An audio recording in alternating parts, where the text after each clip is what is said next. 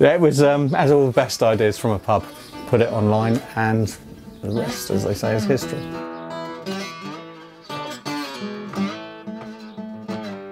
Roll up, my friends, gather round. The medicine man is back in town.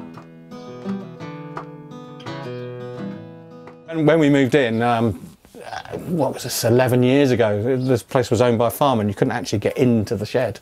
It was so full of books and paperwork. I started clearing it out and then realised there was quite a few interesting pieces lying around. I'm a bit of a hoarder anyway myself, so I had quite a lot of it myself. And uh, I've just collected, kept things and bands bring things and so yeah, it's a good fun collection of bits and pieces from modern times to really quite old.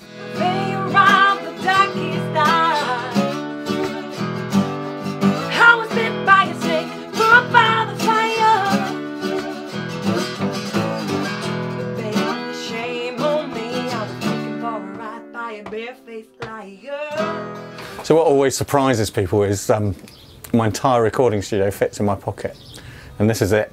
I recorded all a thousand sessions using this tiny little Canon IXUS camera, which is now probably 13, 14 years old. I used to take it on holiday with me.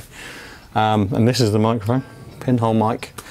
So, I mean, if you're a sound tech and you listen to one of my sessions, you'd think, oh, it's in mono and um, it's not it's like the, the sort of modern digital recordings. But that is kind of what people like. They like the fact that this is as close to live and um, quite raw and the musicians actually quite like stripping it back. They don't have, all they have to do, loudest at the back, quietest at the front, and we're away. All with this. Thousand sessions recorded on that.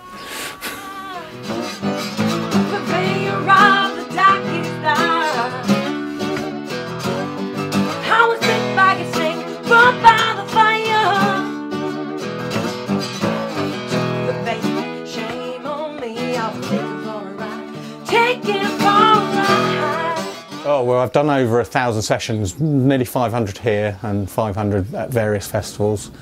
Um, had everyone here from complete unknowns to Passenger before he was famous, um, Paul Heaton Magic Numbers, Tim Minchin, KT Tunstall, and hundreds of new upcoming bands. And some of those bands that I recorded five, six years ago are just starting to get played on the mainstream. My videos much don't get the views that some of the, the bigger session sites do, but what I do know is people like Dermot O'Leary and Bob Harris, Tom Robinson, Cerys Matthews are all watching them a month after we've had someone in here that they're on their radio show doing a session or uh, being booked for festivals. One of Larmer Tree came to see me. I'd set up a, a, a shed in, at Colston Hall. We went over, had a look at the site, and found this beautifully run down, almost collapsing shed in the woods, which we now take over every year, bring the contents of this shed into it, and record all the acts that are playing at Larmer Tree Festival. The sun and the wind is going to be powering the shed this year, and we're going to be putting on a few few of the acts we, we see over the weekend. I'm then going to invite to play on the Ecotricity stage in the, in the Larmer Lawn area. And that's a really exciting, exciting partnership. I'm looking forward to working with uh, Ecotricity and other projects we may be doing in the future.